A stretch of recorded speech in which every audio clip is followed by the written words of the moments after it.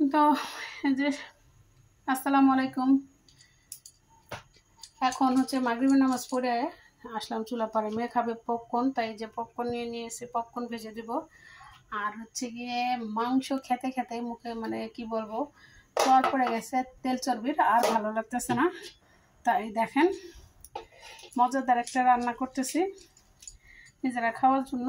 এটা হচ্ছে গিয়ে দেখতে পারবেন, এর মধ্যে আছে কাঁঠালে বিচি পুঁই শাক তারপরে ঢেঁড়স বেগুন মুসুরির ডাল তারপরে এখানে হচ্ছে গিয়ে কিছু ধুন্দুলের কচি কচি শাক নিয়েছি কিছু কিছু চাল কুমড়া শাক নিয়েছি। তো এগুলো দিয়েই আর কি মেখে টেকে রেখে গেছিলাম বিকালবেলা যে নামাজ পড়ে এসে রান্না করব। মেয়ে হয়ে গেছে পাঁচ ঘর যে আমার পপকর্ন ভেজে দাও পপকর্ন ভেজে দাও তাতে তো স্থির হচ্ছে না।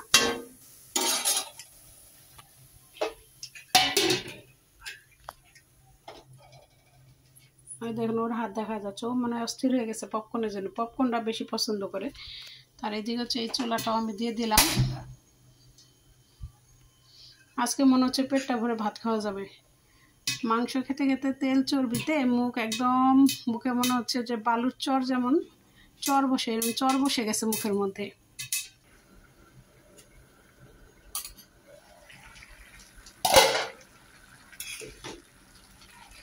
তা দেখেন আসলে সুন্দর একটা ফ্লেভার বেরোচ্ছে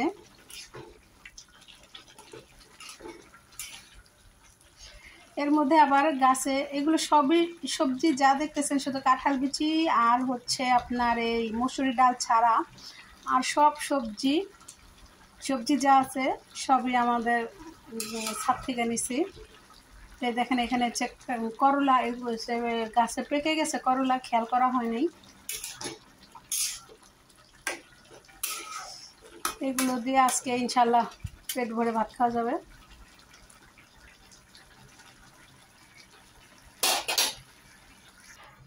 এদিকে দেখি কি অবস্থা। পানি প্রায় শুকাই আসছে, একটু নেড়ে ছেড়ে একটু ঝোলের পানি দিব।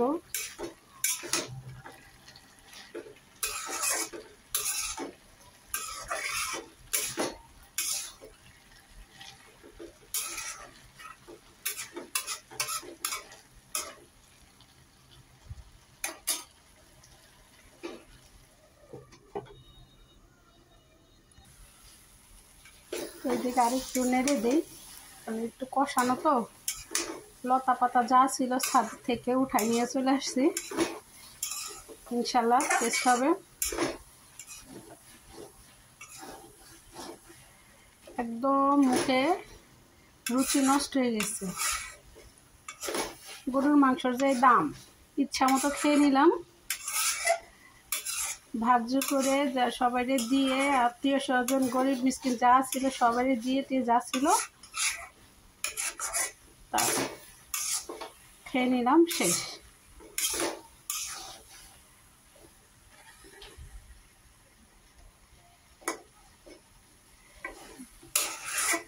যার যার মনের ইচ্ছা মতো তৃপ্তি মিটায় গরু মাংস খেয়ে নেন। গরু মাংস যে দাম, কেউ তো আবার কিনতে, সবাই তার কিনতে পারি না আমরা।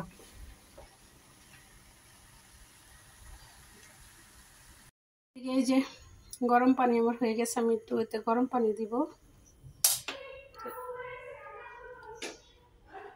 হ্যাঁ!